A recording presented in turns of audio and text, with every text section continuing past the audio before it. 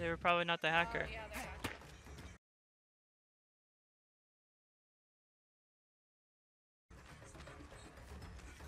They they heal pretty quick too. I saw that. Yeah, and they have silent vaults. I forgot about that too. He, he slow vaulted. No, he, that was not a slow vault. They have like these weird invisible. Uh?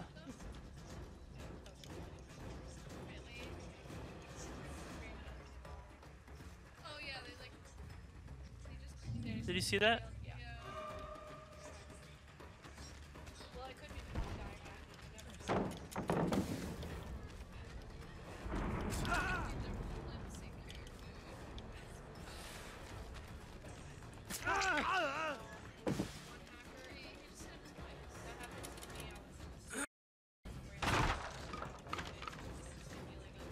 Like he just mended. This guy just mended.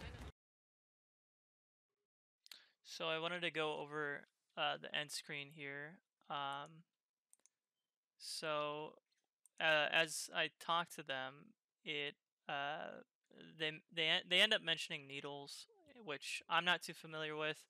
Um, but uh, as uh, someone pointed out to me um, during this end screen, is that it would have shown me that they had needles in the first place, which uh, they didn't. Uh, there were a lot of the game started out pretty normally. I didn't notice anything too crazy.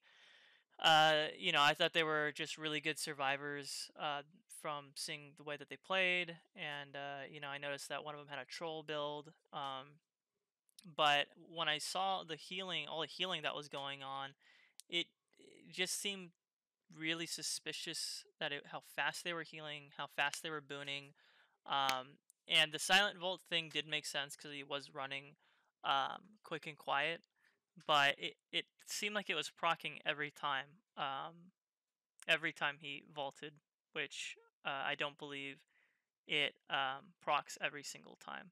So near the end of the game, it was just really uh, frustrating to me because I've always heard how many hackers there are in Dead by Daylight, and I had never run into one uh, until these guys.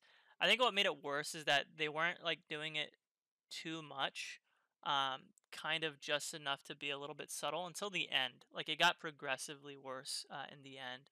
Like when the gen ended up 99ing itself, uh, when um, they were just healing abnormally fast and they were mending in the middle of chase, they were healing in the middle of chase, um, or or a little bit after chase. Um, so it was just it was just a really crazy game. Uh, the further I get away from it, the less frustrating it is. Like you know, it, it is what it is. Um, but uh, but yeah, I just kind of wanted to sort of showcase this in this video, um, and what that looks like and how horrible it can be.